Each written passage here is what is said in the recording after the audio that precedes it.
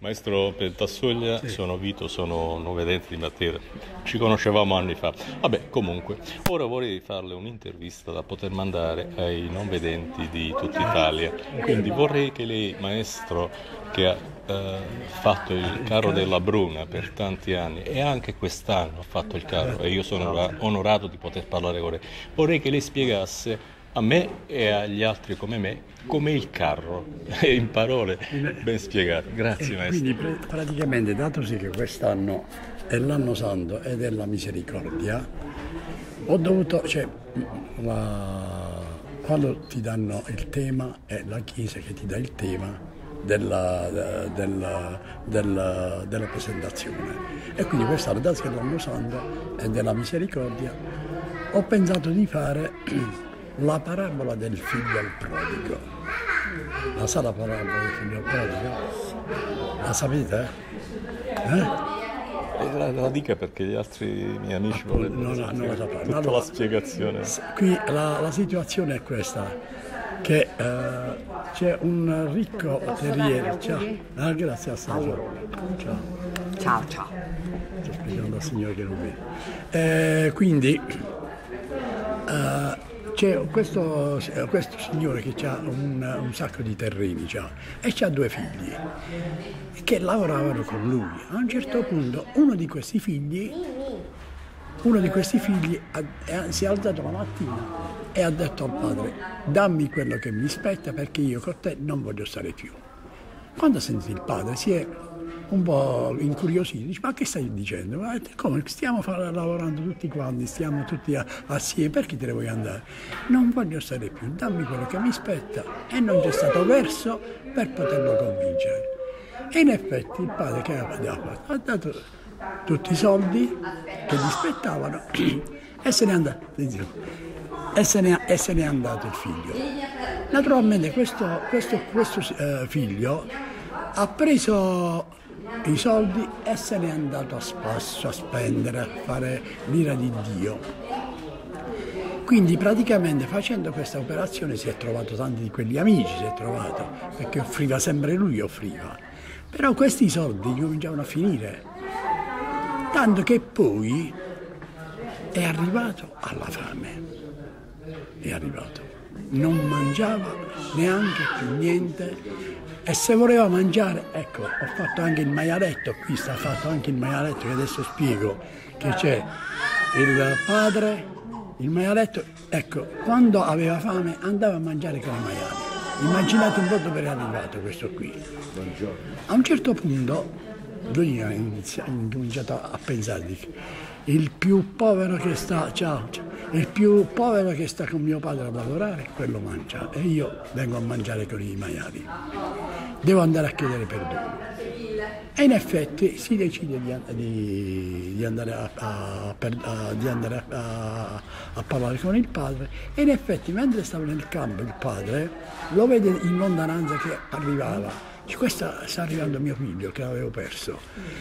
Quando si avvicina se vedete eh, il, so, il, il, figlio è arrivato vicino che si stava inginocchiando, lo solleva e dice non sono più degno di essere tuo figlio, però fammi lavorare che io voglio mangiare. Allora l'ha sollevato, se l'ha abbracciato e al cameriere ha detto andate a prendere i vestiti più belli, le scarpe più belle e l'anello d'oro che lo dobbiamo, dobbiamo festeggiare il suo ritorno. Ciao, grazie. grazie. Auguri ancora e complimenti. Grazie. E, e quindi hanno, è andata nella stalla a prendere il vitello più bello che sta, lo, lo, lo dobbiamo uccidere per festeggiare eh, il suo arrivo. La storia non finisce qui perché quando arriva la sera il figlio sente tutta musica e ecco, dice, ma che sta succedendo? Perché non sapeva niente quando è arrivato la sera. Ha detto al cameriere, ma che sta succedendo? È venuto tuo fratello, è venuto mio fratello. Allora si è incavolato perché quando va dal padre, tutto incavolato, dice, io ti ho chiesto una volta un capretto e non me l'hai voluto dare perché io dovevo festeggiare con gli amici. Adesso è arrivato questo che ha pulito tutto e stai facendo questa festa. Caro figliolo, disse il padre, ecco la misericordia, perché il padre voleva perdonare a tutti quanti, eh, perdonare ai figli, dice al figlio, l'avevamo perso e l'abbiamo ritrovato, lo credevamo morto ed è vivo, adesso dobbiamo festeggiare il suo ritorno. E questa è la... Ci dica un po' le statue. Eh? Ci dica un po' le statue come sono posizionate. Ah, dunque le statue, uh, quindi le statue rappresentano al centro la scena madre, è quella che sta il fratello, il cameriere con la, uh, i vestiti e l'anello. Ciao, ciao bello. Uh, con l'anello. Il padre che lo solleva mentre si sta inginocchiando. E poi c'è una donna che è, è rimasta quella donna soltanto era una prostituta questa qui, perché gli era rimasto accanto che naturalmente si dispiaceva lasciarlo solo perché l'avevano abbandonato tutti quanti. E quindi qui sono cinque statue, tutte in cartapesta. Poi vicino all'ingresso della porta della Madonna c'è la figura del, del Papa, di Papa Francesco, perché naturalmente devo mettere che lui ha voluto questo anno santo, ha voluto e ho fatto il Papa, con due angeli con le trombe. E poi naturalmente tutte le decorazioni, quadri della, della, cosa, della misericordia.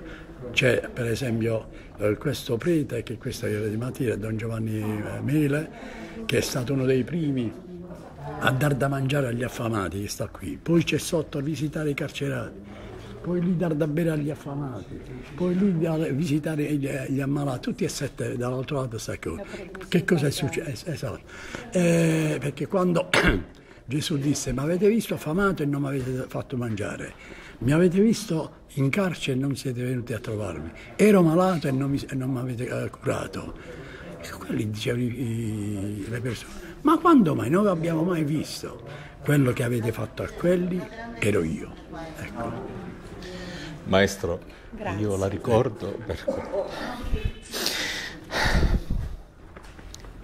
No, non vale così perché mi commuovi tu la me. Io ricordo quando vedevo quanto erano belli i vostri carri. Eh, e immagino che Immaginate anche ora quelli che sono uguali e meravigliosi.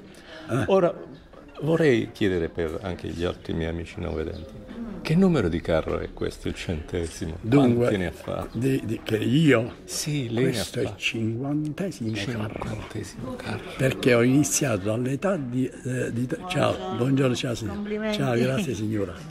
Ciao. Ho iniziato all'età di 13 anni, quando si incomincia a imparare veramente, perché a 13 anni la mente è libera e adesso se, eh, a 18 anni si deve, eh, si deve, andare a imparare. A 18 anni non c'è canzone, una ragazza, divertimento ecco, e non si impara niente. Questa è la preoccupazione. Eh, questo mi, mi preoccupa molto. Spero che qualcuno segua il suo esempio. E io e eh, quest'anno, e quest'anno se, prendete, se, prendete, il giornale ho, ho detto qualche cosa proprio in merito a questo stamattina. Sulla Gazzetta c'è un articolo che ho fatto l'altro giorno, eh, l'hanno messo stamattina e, e, quindi potete leggere quello che ho detto al giornalista. Ci credo e sono d'accordo, sono felice di averla incontrato. No, sono più felice io che voi.